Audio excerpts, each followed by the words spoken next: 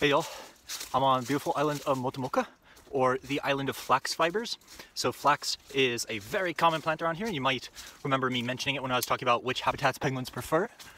And it completely surrounds the island. So the Maori people used to come here, collect the flax and use the fibers of it, use, uh, use materials from the flax to make a lot of different things. Baskets, clothes, uh, help sealing housing, uh, using it kind of as rope, all that sort of stuff, because it's a very strong plant. And you can hear a tieke calling above me. That's called a tieke because the sound it makes. Yeah, so that's a tieke or a saddleback. It's a species that was reintroduced to this island after it was originally reduced down to just one group of islands. Since then, a lot of them have been re-released by the Department of Conservation and by the Auckland Zoo. So they breed them in captivity and then spread them to other islands, or otherwise just collect them from the wild and move them to a different place. they'll pretty much just stay on the islands you put them. And that's to help if, you know, a storm ruins one of the islands, you don't lose the entire species. So why do I sound winded? Well, that's because I am. I am very winded. It's a very steep island that we have to hike across every day, and I'll go over what we're doing with that in just a minute. But the reason it's steep is because it's a volcano. Like most islands, and even the mainland of Aotearoa, New Zealand, volcanoes. So that's what this is. It was initially pretty barren volcanic rock, but as you can see, it's pretty densely vegetated now. And the way it became that was from seabird poop. So you have to get the nutrients from somewhere. Something has to contribute those nutrients to allow all this vegetation to grow here. And originally, there would be some nutrients in the volcanic ash, volcanic rock. As it's rising out of the ocean, you might have some plankton decay and all that sort of stuff. But that was millions of years ago. So how do we get the modern nutrients? It's pretty much all from seabirds. It's from the penguins, the petrels, and the shearwaters that nest on this island. And so why am I hiking up this? Well, because the hut's on the west coast in the West Bay, and we're heading to the South Cove, where we will be attaching trackers to penguins, to penguins, to little Korora. And the way we ended up with this little project is actually a bit of an accident. That happens sometimes. And basically it comes down to one of the most common misconceptions in biology and in environmental work. The assumption is more or less that we know the basics, the big questions, about pretty much every major species pretty much every major group of animals. That's simply not true. It's very true for some species that can usually be grouped into two different categories. Either the ones that, number one, everyone wants to work with, or number two, are easily accessible. That's where probably 95 to 99% of the studies of animals are. Either the ones everyone wants to work with, or the ones that are really easy to work with. So category one, the ones that everyone wants to work with. You have elephants. They're not particularly easy to work with because they're dangerous and they're in Africa, which has a number of infrastructure issues related to that. But everyone wants to work with them. Everyone likes elephants, so there's a lot of research done on them. And then uh, the Asian elephant, there's just a lot of people around because that's the most densely populated area of the world, South Asia and also because they're interesting. People like them. People like elephants, they want to work with elephants. They have really interesting qualities, like their personalities, their intelligence, and their group dynamics, the way they interact as a group. Those make them really attractive to study. Another example, emperor penguins. Very difficult to work with because they breed in the heart of winter in, in Antarctica, but everyone likes them. They seem to be the most extreme version of life, living in such an inhospitable place and doing really well there. They aren't struggling to survive, they are absolutely thriving. So that's very interesting to people. Plus, they're cute. They look like butlers. They look like they're wearing a tuxedo. They walk upright like us. People just really want to work with emperor penguins because of those reasons. So that's category one, the ones that are interesting in one way or another. And category two is the ones that are easy to work with. So those are going to be the ones that we either try to look for some medical explanations, like we use pigs for a lot of medical research, guinea pigs for a lot of medical research, that's where the term being a guinea pig comes from. Rabbits, mice, you've heard of lab rats, all that sort of stuff, they're the ones that are easy to work with because we have tons of them lying around. Or you have ones that just happen to live in easily accessible places. Like pretty much every species in Britain has been discovered because it's such a densely populated and highly educated place that they have lots of researchers out there researching very few species in a very small area. So we have lots of information on British animals, British plants. Oh, gotta duck under that. Yeah, and then domesticated species, cows, pigs, chickens, all that sort of stuff. And that's where the misconception comes in. There's a lot of species we know virtually nothing about. And it's not just small things like beetles, it's big things and important things like seabirds. Particularly here in Aotearoa, New Zealand, or in other places with a lot of offshore islands. Sometimes they can be tough to access, They aren't always especially beautiful animals.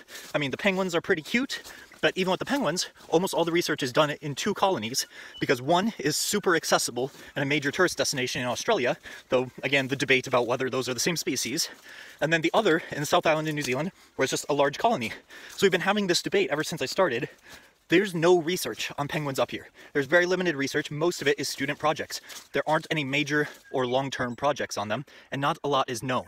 And that's what brings us here. So a few weeks ago, we were on a totally unrelated project. It was just to see what lives on these islands. These islands that have been variously occupied or used for harvest for hundreds of years. They're some of the first islands to have been arrived on by Maori explorers. And so we've known of their existence. We know some of the species that live on them, but it's not well documented and people very rarely come here. So not a lot was known about them, and we came out here just to see what species are here. And we documented some stuff that was new to science. Uh, we found a little shearwater they hadn't been seen here before. Uh, we found flesh-footed shearwaters to be much more common than thought. Uh, we confirmed there are a lot of ōi, or the gray-faced petrels, all around. Um, but the most important thing, and what brings us on this trip, is one of the beaches that we're hanging out on trying to get fluttering shearwaters to land, which another finding, we didn't find any fluttering shearwaters, even though they were thought to be here. So again, we don't always know everything. There's a lot of gaps in science, especially in these difficult to reach places. So one of those beaches, we were trying to get fluttering shearwaters to land at us. You just play a recording and they pretty much just land on you. They land right next to you, land on the recorder and just hang out. We couldn't get anyone to land, but while we were hanging out there, we were noticing tons of korora just walking right by us. And that's where I got some of those videos and pictures from the other trip, was on that one beach. In particular, they sort of funneled into three different areas. And those areas we've named the Rockhopper, the Highway, and the Gully. So you can see how dense the burrows are here. There's just holes everywhere. There's some over there, some over there. And unfortunately, when we were on our last trip, uh, one of us took a bad step and it collapsed in this burrow. So we took apart one of the nest boxes and put that over the top so that this chick right here wouldn't be too badly affected.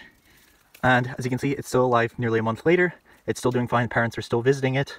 Um, so putting this cover right here really helped fix it. But ideally, we wouldn't collapse any burrows. It was kind of unfortunate. We didn't realize there was a burrow in this point and someone stepped and you can see how shallow it is. It's really easy to collapse a burrow accidentally like that. So we put this little cover on it so that it still remains dark. And then the entrance to the burrow is off to the side. So there's not a problem of jamming that up.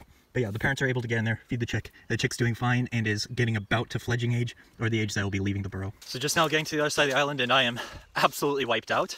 I almost feel like football and rugby were better preparation for this work than actual science classes. Yeah, it's, it's tiring work on some of these islands. They're very steep, very slippery. You're on cliff sides.